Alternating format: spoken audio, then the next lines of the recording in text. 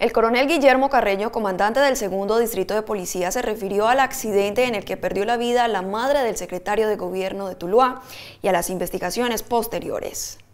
Los jóvenes que conducían la motocicleta con la que fue atropellada la señora Sista Tulia fueron individualizados por la policía. Son dos jóvenes, eh, no están capturados, se hizo un procedimiento donde se individualizó todos los datos a estas personas. Ellos fueron llevados hasta, hasta el hospital donde se les hizo la prueba de alcoholemia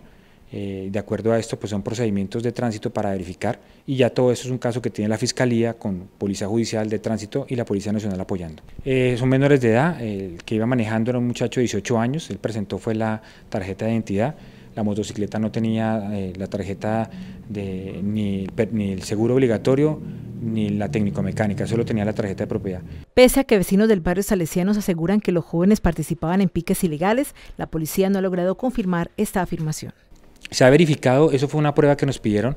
eh, solicito a la, comunidad que de pronto tenga videos, me los haga llegar sobre este caso, porque eso, eso haría parte dentro de las pruebas que, que se requieren dentro de esta investigación, porque la gente manifestaba que había, se está presentando un pique, pero usted sabe que esto hay que soportarlo jurídicamente con pruebas, entonces estamos, si la gente tiene videos, que es lo que estamos recolectando, porque en esa cuadra no se logró encontrar videos, para hacerlos llegar a la Fiscalía para aportar en esta investigación.